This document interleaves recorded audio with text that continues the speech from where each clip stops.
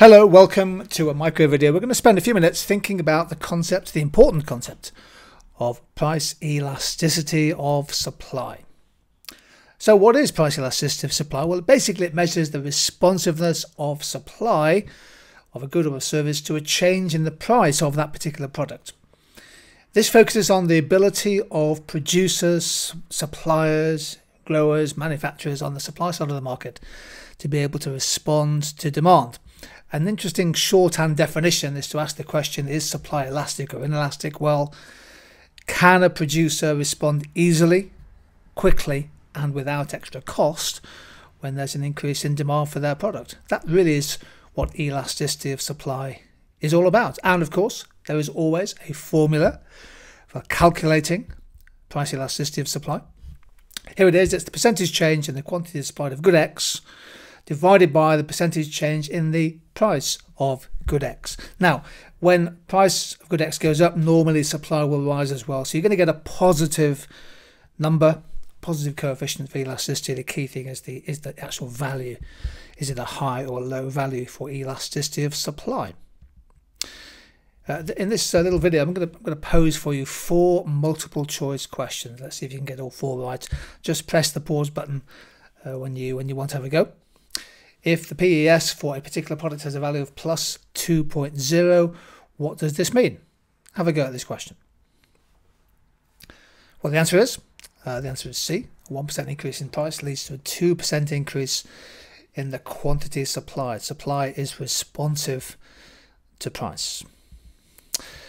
So when I think about different products, different goods and services, it's interesting to ask this question, you know, what makes supply elastic, responsive, or inelastic, relatively unresponsive. Let's consider here that maybe you're a baked bean manufacturer and you're asked to produce an extra 10,000 cans of baked beans a day. Is that possible? Well, I think in reality the answer is yes. Uh, manufacturers, of course, with mass production could perhaps add an extra shift onto their production lines, providing they have the stocks of raw materials, of aluminium cans and baked beans and, and other resources, providing the capacity to supply. It should be fairly elastic. Contrast that with this question what's the elasticity of building a new nuclear power plant? Well, it can take many, many years, and sometimes more than a decade, to get permission, plan, design, build, construct, test, and bring into play a new power plant. So the elasticity of nuclear power, of supply of nuclear power, is highly inelastic in the short term because because just the pure length of time it takes to establish a new plant.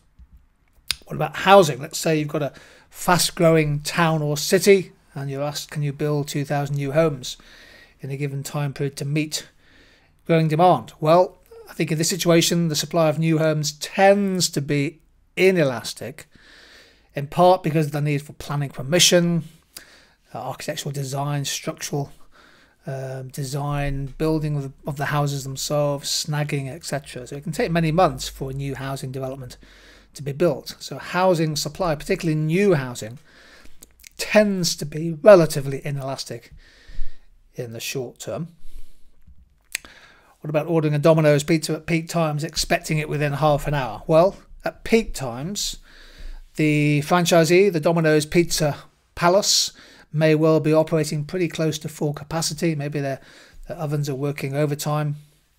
They may have some spare labour, but perhaps they're running perhaps short of, uh, of, of raw materials, ingredients. Who knows? Again, at peak times, supply can become inelastic because, in this case, pizza makers are running up against capacity constraints. Whereas at off-peak times, you make an order of pizza at eight o'clock in, three, three o'clock in the afternoon, and it can arrive before four, etc. What about growing more avocado to meet increasing global demand? Well, I guess this is an interesting uh, example of a fairly inelastic supply because of the time it takes to grow new plantations, for the trees to bear fruit. Avocado is something which can be stored, but it's a fairly perishable fruit. It has to be stored at certain temperatures, and so therefore there aren't not going to be limited. Sorry, there are going to be limited stocks of avocados. So I would suggest the supply here is fairly inelastic, particularly in the short term. And what about the, uh, the supply of seats at a Premier League stadium, such as Anfield? Elastic or inelastic supply? Well, I think here we'd probably say it's perfectly inelastic in a given time period. Let's say per season, the stadium will will um, will basically have a, a fixed capacity.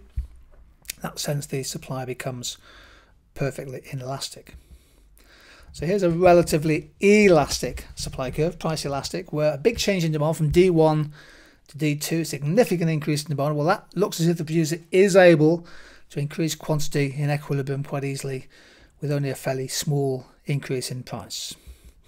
Supply will tend to be price elastic when a supplier has plenty of spare capacity available to increase output. So spare labour, spare capital machinery, spare raw materials and component parts.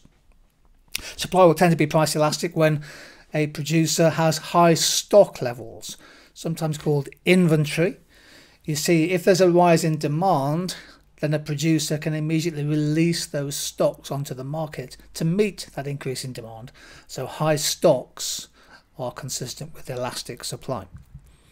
Supply tends to be price elastic when there's a short production time frame. The pizza example is quite a good one, or the baked beans anything which is mass produced, it doesn't take many minutes or hours to get a new product to market. So when the short, when the manufacturing process is highly efficient, that tends to increase supply elasticity. And the fourth factor is often not, not mentioned by students, but a good one. Uh, supply will tend to be elastic when the ease of factor substitution is high. That means that if you get a, a shift in demand towards your product, you need to increase or ramp up production. Can you bring in labor and capital and other resources quickly? Can you switch them from one occupation to another uh, to increase supply? When you can do that, when workers are occupationally and geographically mobile, that can increase the elasticity of supply. In contrast, an inelastic supply curve S1 in this situation. A big increase in demand again. Notice here there's only a limited increase in output from Q1 to Q2. And in fact, when this happens, if there's a big rise in demand, what you tend to see happening is a significant increase in the market price rather than the quantity bought and sold. Two extreme values. Here's a perfectly elastic supply curve, sometimes called a constant cost supply curve. Any change in demand can be met pretty much immediately without any change in the market price. And in class, we were saying, well, what might what might count as that? And we thought things like maybe downloads, app downloads. You know, the supply of app downloads is pretty perfectly elastic. You just download it. Um, or in-game purchases, perhaps, would be a good example of that. And the alternative, the other extreme, is when there's a perfectly priced inelastic supply. And here the supply is fixed in a given time period and does not respond to a change in the market price. So in this situation, demand's gone up from D1 to D2. The output has stayed exactly the same at Q1. All that's happened is the market price in equilibrium has gone up from P1 to P2. So can you see here these different types of elasticities? Let's go back a slide. Uh, um, elastic, inelastic, perfectly elastic, perfectly inelastic. These questions often come up in multiple choice. Here's a good example of the stadiums again. These are the, the capacities, the known capacities of the Premier League stadiums in the 2020-21 season. Fulham's capacity limited by building works. Uh, big big variation there in the, in the, capacities of stadiums. Arsenal's just tips over 60,000 60, capacity. Biggest is Man U by, by some distance there. And the new, uh, the new Spurs stadium, 62,000 capacity. So, just quick research, a quick um, revision here for you what are the key factors that affect price elasticity. Normally in an exam question you might be asked to examine two of them, let's say. One is spare production capacity. To my mind, it's one of the most important factors. If a business has plenty of spare capacity, spare labour, spare land, spare capital, then it should be possible to increase supply without a rise in costs. Supply will be elastic. Supply will uh, the elasticity also depends on the stocks of your finished products or and intermediate goods.